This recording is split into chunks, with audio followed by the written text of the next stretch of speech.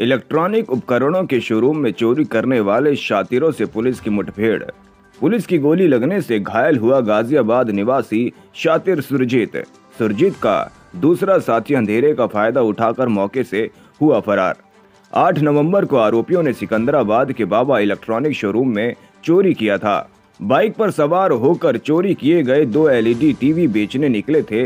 दोनों शातिर, घायल शातिर पर गाजियाबाद, नोएडा में लूट, चोरी, तस्करी व आर्म्स एक्ट के करीब 10 मामले दर्ज।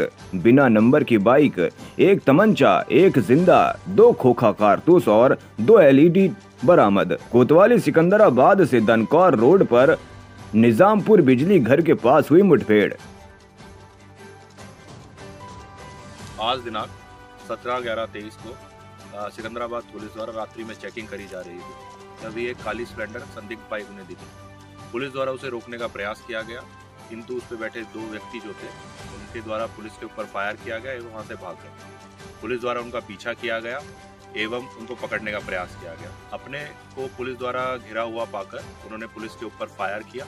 आत्मरक्षार्थ में पुलिस द्वारा फायर किया गया, जिसमें एक संदिग्ध व्यक्ति घायल हुआ और एक अंधेरे का फ़ायदा उठाकर भागने में सफल रहा। जो संदिग्ध व्यक्ति जो घायल हुआ है, उसकी पहचान हुई है सरजीत सन ऑफ़ राम जी ये विजयनगर गाजियाबाद का रहने वाला है। एवं जो भागा है, उसकी पहचान हुई है रिंकू सन ऑफ़ अमर सिंह।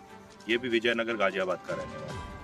मौके से इनके इनके पास से दो एलईडी बरामद हुए हैं। एक चोरी की बाइक है, तमंचा है।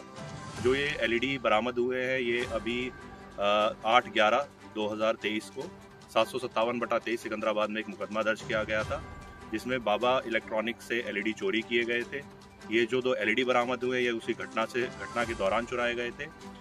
जो व्यक्ति घायल हुआ है, उसकी प्राथमिक उपचार के लिए उसे अस्पताल भेज दिया गया है, एवं अग्रिम विधिक कार्रवाई सिकंदराबाद पुलिस द्वारा की जा रही है।